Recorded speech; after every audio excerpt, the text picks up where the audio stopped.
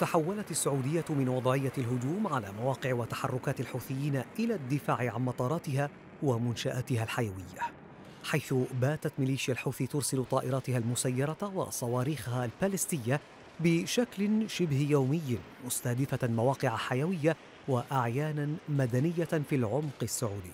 في آخر هجوم حوثي على المملكة قال المتحدث العسكري باسم الميليشيا إن سلاح الجو المسير التابع لهم نفذ هجوما بسبع عشرة طائرة مسيرة وصاروخين بالستيين مستهدفا مصافي شركة أرامكو في جدة والجبيل ومواقع أخرى في منطقتي خميس مشيط وجيزان.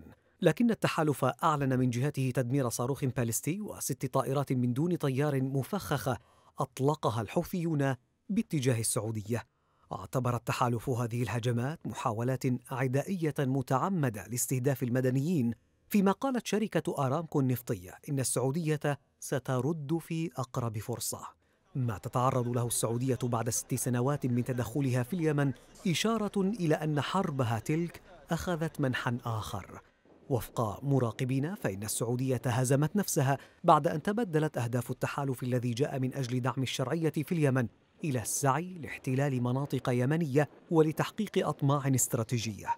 باتت السعودية إذن تتلقى صفعات كثيرة من قبل الحوثيين وتكتفي غالبا بالإعلانات المتكررة بتدمير المسيرات الحوثية والصواريخ البالستية. بالمقابل تغامر ميليشيا الحوثي في التصعيد دون أن تكترث للعواقب والتداعيات إذ تدرك أن بعد كل هجوم حوثي تتلقى صنعاء وغيرها من المحافظات اليمنية سلسلة غارات جوية يدفع ثمنها المدنيون.